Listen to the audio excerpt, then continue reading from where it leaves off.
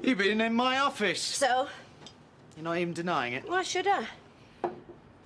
Everything you stole, I want it back. No chance. I want my property back. No, I'm warning you. no. I'll rip this place apart if I have to. Wreck it for all I care. And then I'll rip your head off. Come on then. I've had enough of you. Come on, do your worst. I'm not afraid of you.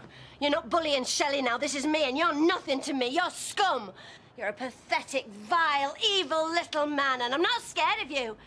Come on! What are you waiting for? I see what's going on here.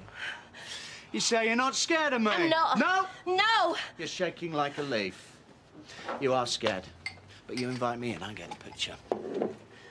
You'd let me do anything to you now, wouldn't you? Anything at all, just so you could have something on me. I could have you again, couldn't I? Right here. If I wanted to, right now. You'd like that. In more ways than one. Just you try it. Because this campaign of yours, it all comes down to jealousy. I'm with Shelley, I'm not with you. Oh, you. you make me sick. Shelley loves me, she doesn't to my love you. stomach. And you make me sick of you drunken old slag. How low can you go?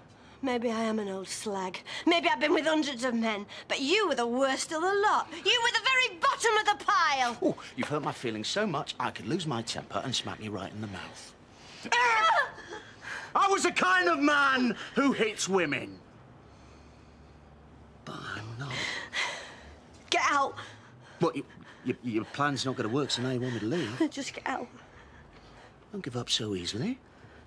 I can still get carried away, give you what you want. Of course, then I'd have to kill you afterwards.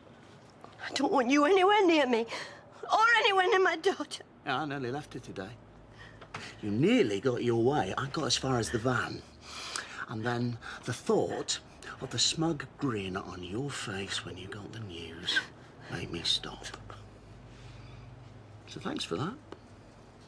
What are you getting out of this? It's fun. Oh. I'm loving it. Oh. My own cage, little bird to play with.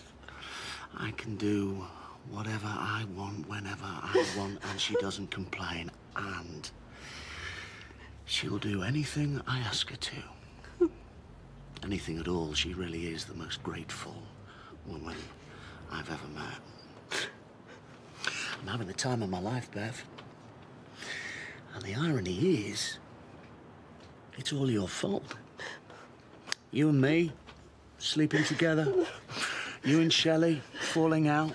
Shelley locking herself away upstairs. Even the fact that I haven't left. It's all your fault. On that cheerful little thought, I'm gonna love you and leave you. I'm such a tease.